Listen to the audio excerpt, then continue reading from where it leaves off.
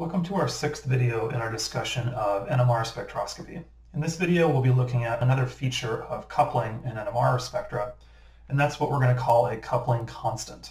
So to remind you, we've talked about this notion of splitting or coupling or signal multiplicity as essentially a way of understanding how many neighboring hydrogens exist uh, near a hydrogen giving a particular signal. So you've learned terms like singlet or doublet or triplet, and they describe the situations that you see near the center left of the slide, where if we're looking at, like, let's say one neighboring hydrogen, which we'll show in red here, uh, neighboring to the blue H, then we would expect to see a doublet. And we know that one of the ways that we can see that is that the signal gets split into multiple lines. So in this case, a doublet would be two lines, a triplet would be three lines, and there are the characteristic height patterns as well. So a triplet, and the, the middle line is twice as intense as the outside two lines. In a quartet, the middle two lines are three times as intense as the outside two, and so on and so forth.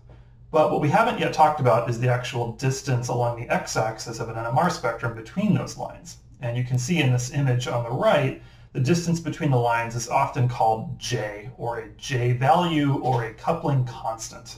And this value basically is the difference in chemical shifts between the two different lines in the spectrum. So we're typically going to be talking about these things in units of hertz. So a coupling constant might be something like 3 hertz or 20 hertz, that kind of thing. Coupling constants actually carry quite a bit of structural information, but interpreting them can be pretty challenging, in part because a lot of times they have to do with stereochemistry. And so in this particular video, and really for, the, for our class, we're going to be focusing on some, uh, some relatively straightforward applications of coupling constants, but one of the things that I want to make sure that we're aware of is that those coupling constants are always going to be related to the spatial relationship between two hydrogens. So for instance, whether they're adjacent and at what angle are they adjacent, that kind of a notion. And we'll see more, more, more about that a little bit later in the video. So coupling constants or J values, as I said, are these values listed in Hertz. Um, and so really the thing that's important here is that looking at the J value tells us something about the relationship between the H's that are coupling to each other. So in this case, we can say the J value for the coupling between HA and HB is 6.1 hertz. And that's going to be true in both differences in the triplet. So if I went from the center peak to the right, the difference there is 6.1 hertz. And if I went from the center peak to the left, the difference needs to be the same, 6.1 hertz. Because the spatial relationship between HB and HA is the same for both of the different hydrogens. But the other thing that we know is that this coupling is actually reciprocal. So if we looked at the uh, other part of the NMR spectrum for this trichloroethane compound, and we looked at the signal coming from the red H's, so HA, we would expect it to be a doublet. There's one neighbor to the red H's.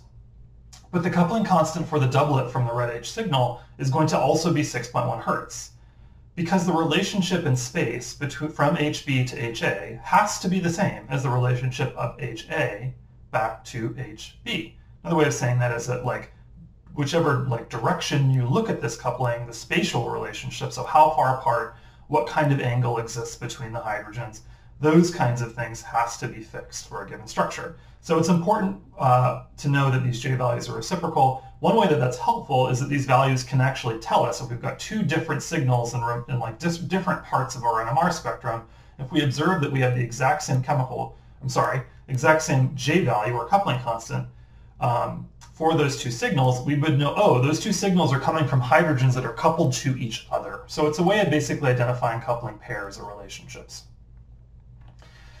Moreover, coupling constants are often indicative of different kinds of relationships in space for coupling hydrogen. So you can see a small set of the examples that we know about here on the slide. There are multiple pages of data uh, available in reference works for different kinds of coupling situations. But the ones that I want to talk about for the most part are on the slide.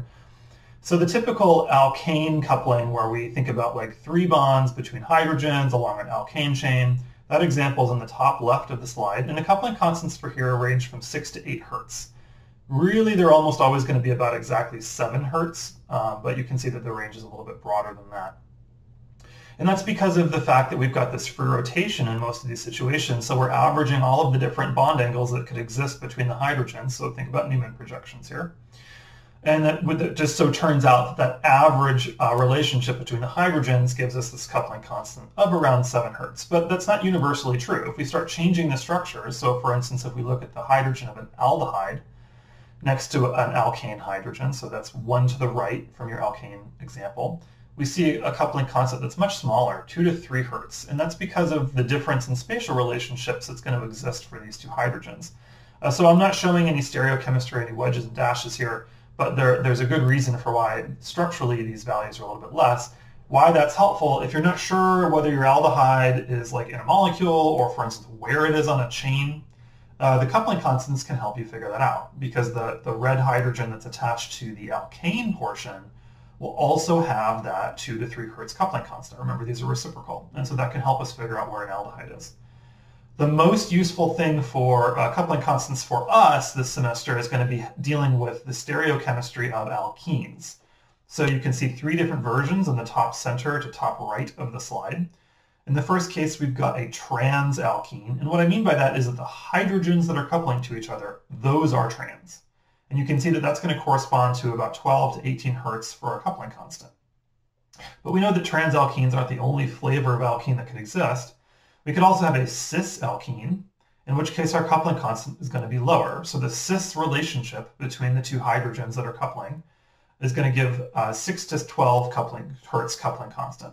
So noticeably lower than the trans. And that's actually going to be a pretty useful way for us to distinguish between cis and trans alkenes just by looking at coupling constants, right? It wouldn't necessarily be the case that you'd have a different multiplicity or a different integration or different chemical shift, really down to this fourth piece of information that we can extract from NMR spectra, uh, coupling constant. And then finally, you could look at an alkene where the two hydrogens that are coupled to each other are on the same carbon. So many of you have probably already discovered that because carbon-carbon double bonds cannot rotate, unless the two R groups listed here are the same as each other, these two hydrogens shown on red on the right are actually not equivalent and will couple. So they both give doublets. These coupling constants are very small though, so typically 0 to 2 hertz. Uh, as an aside, we typically have a hard time observing coupling less than 1 hertz because that means that there's a very, very small distance between the two lines of the signal, so small that the NMR resolution may not be good enough to detect it. And so you might something might look like a singlet when in fact it's a doublet with a very, very small coupling constant. I'm going to avoid ever showing you spectra or give you structures where that ambiguity exists. But again, if you're planning on becoming an organic chemist, or you want to do structural biochemistry with NMR, or other, other kinds of work where you might encounter NMR spectra for more complex molecules, just be aware that, that this resolution issue can become a problem for very small coupling constants. And then finally, we can look at the protons that are ortho to each other in an aromatic ring. Here we're going to have about 6 to 10 hertz. It's going to depend on the other substituents on the ring but typically 7 to 8 hertz is normal. Uh, 10 hertz would be quite surprising, uh, and 6 is definitely possible. I've seen that quite a bit. The last thing that I want to point out, it's not something I'm going to hold you accountable for, but it's another one of these extension areas where if NMR is in your future, it's worth knowing about, and that's the so-called meta-coupling. So two hydrogens that are meta to each other on an aromatic ring can sometimes couple. And you might look at this and say, well, what gives? This is actually four bonds between the coupling hydrogens, and you're right. This is called long-range coupling. It turns out to happen a lot. Uh, the coupling constants are often small, but observable on modern NMR instruments. So here for a metacoupling relationship, we'd look at usually 2 hertz, 1 to 3 is the range that's typically given. And it's not always observable. A lot of times they actually don't, don't see metacoupling because the coupling constant is so small. Uh, often the most likely case where you would see this is if there's a substituent ex that exists on the ring between the two meta hydrogens that are, or rather that are meta to each other.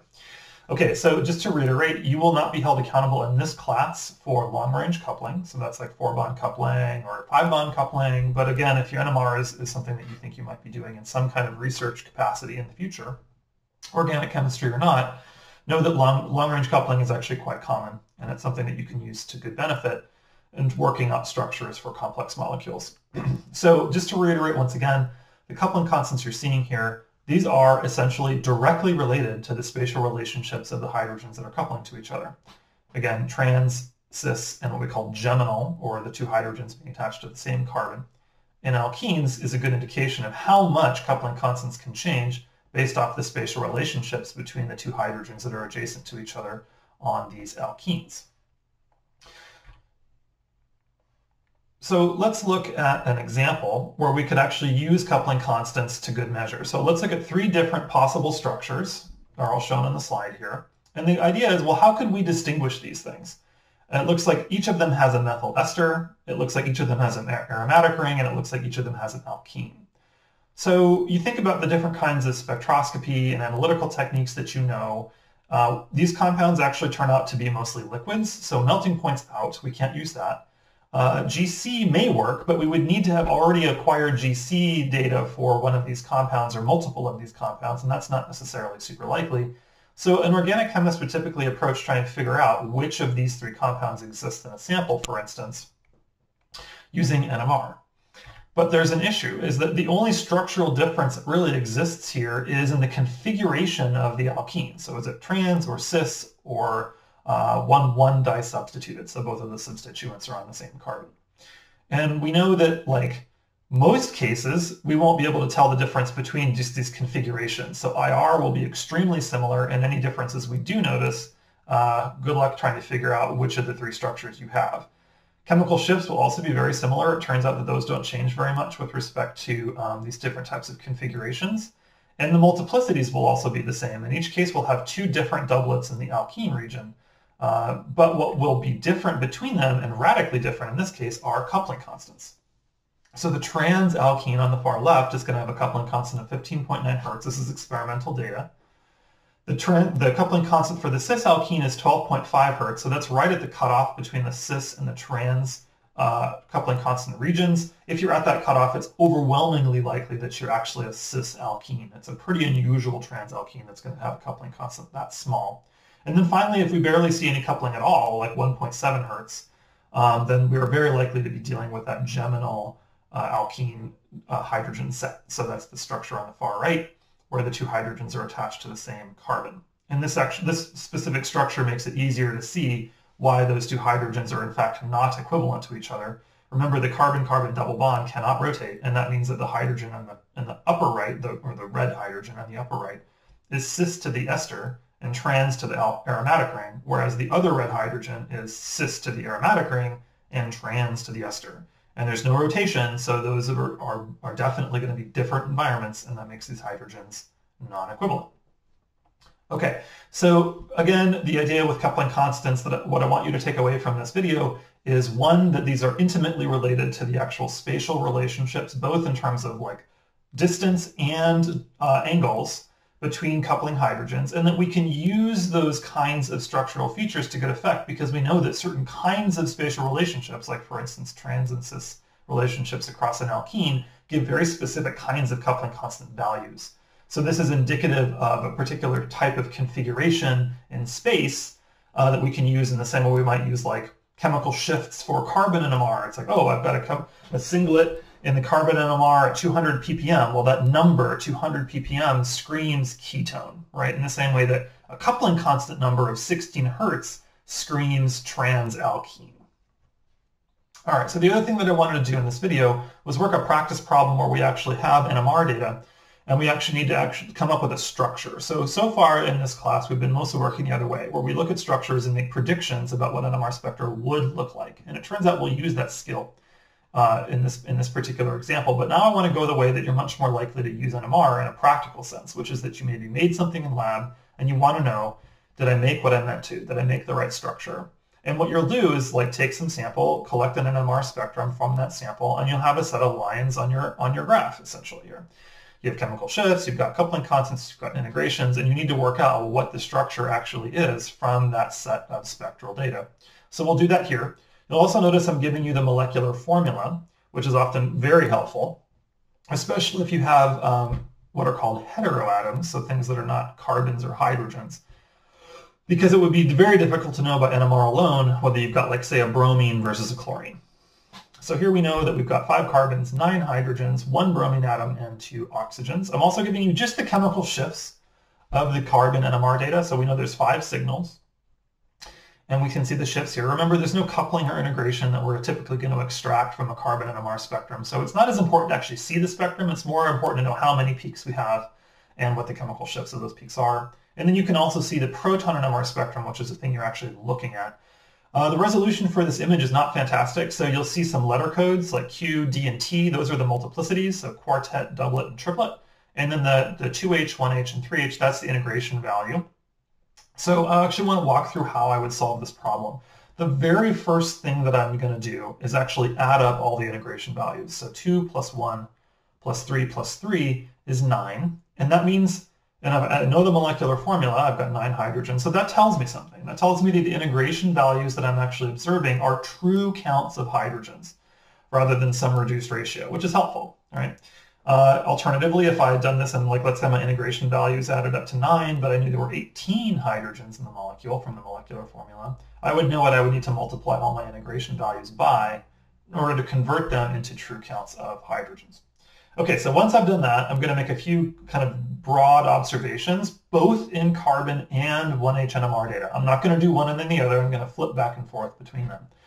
So I'm going to note right off the bat this uh, signal, excuse me, in the carbon NMR spectrum at 170.5 ppm. That tells me for sure I have a carbonyl, some kind of CO double bond. And moreover, because I have my reference data for chemical shifts, I know that this is not an aldehyde or a ketone. It is very likely to be an ester, a carboxylic acid, or an amide. But I also know from my knowledge of functional groups that amides contain nitrogens. And I know from my molecular formula that I don't have any nitrogens. So what I'm left with is either a carboxylic acid or an ester. So right away, I've kind of identified one of my functional groups, either an ester or carboxylic acid. I also know that I do not have an aromatic ring, and I also do not have an alkene because I'm not seeing any signals in the in the proton NMR spectrum that correspond to or, or that, that are in those regions, the aromatic or the alkene region. You could also wonder, well, what if I have one of these functional groups, but there's no hydrogens attached? So for instance, like an alkene that has four different substituents on it. I should still see alkene carbons in the carbon NMR, and I don't see that. I just have the carbonyl, and then I have a bunch of alkane uh, carbon carbon types. So a lot of times it's helpful to see what you do not have as well as what you do have. And it took it took about you know three minutes to think through this type of, of issue. And, and, and that's actually a good place to start. So now I'm going to start drilling down a little bit more. You'll notice I've done nothing with integrations or multiplicity yet. I've just dealt with chemical shift regions and reference data, for instance, in the case of the ester or carboxylic acid.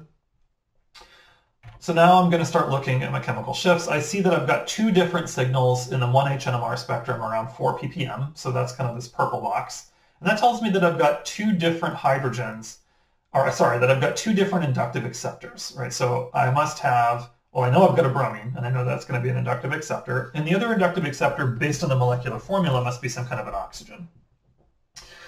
And I know that because the chemical shifts of around 4 ppm come from hydrogens attached to alkane carbons or sp3 hybridized carbons, and that there's it must be some kind of inductive acceptor that's also attached to that alkane carbon. In other words, there's two bonds between the hydrogen and the acceptor. But because these signals are not the same, I know I must have two different kinds of acceptors. Okay, so I also notice right away that if I have one of these acceptors be an oxygen, I know for sure that I do not have a carboxylic acid.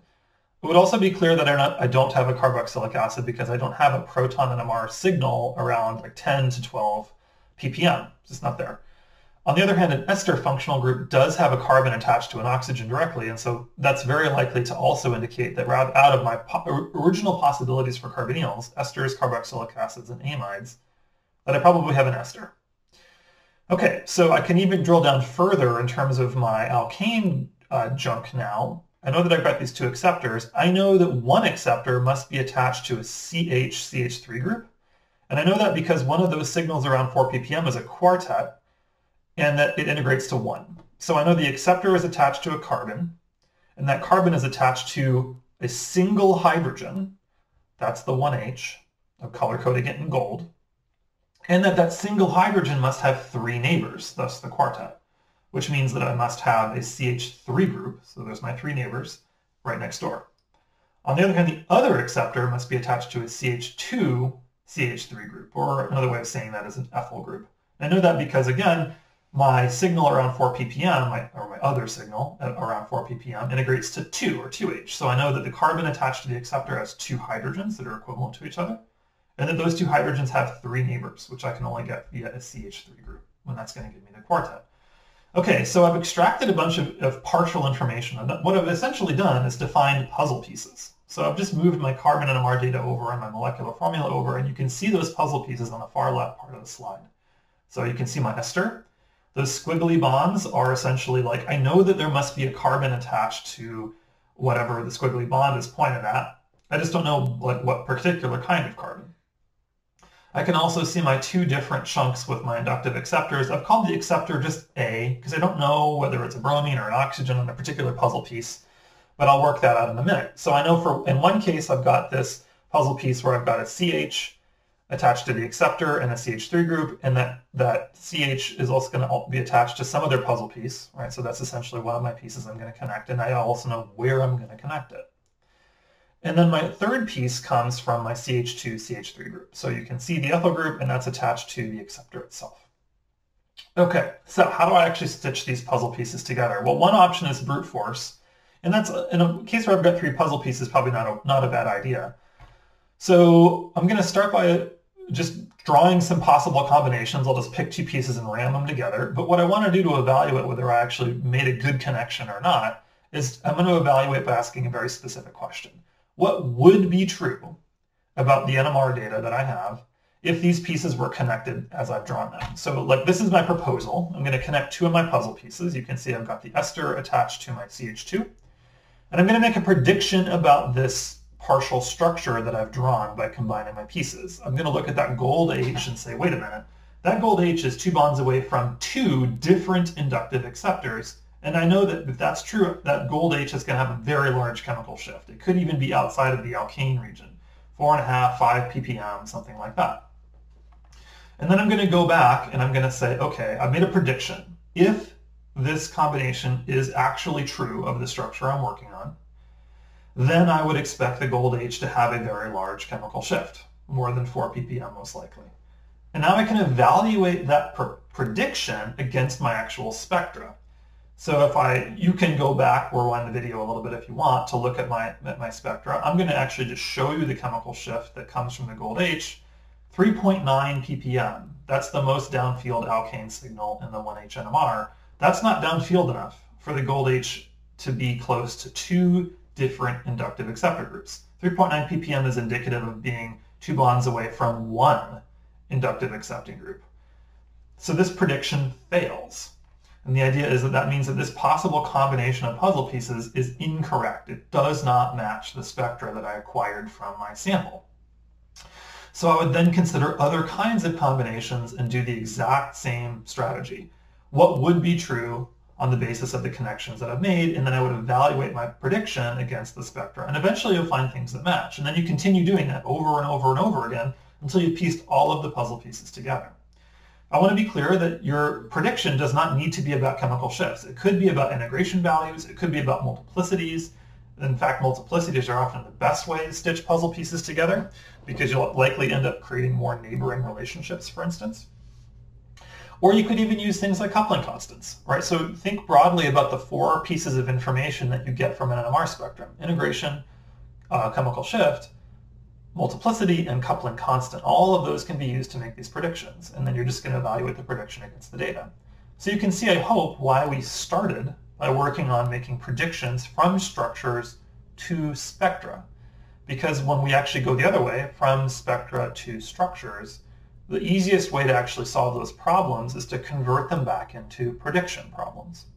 Okay, so I'm actually not going to give you the uh, correct structure for this particular compound because I'd like for you to practice, right? I've, you can see the three pieces here. You can rewind the video to go back to the, to the uh, NMR spectra and the other data. And I want you to come up with what you think that what, what the structure is. So give it a shot. Um, and then if you'd like, you can definitely post your, your thoughts on the discussion board on Brightspace.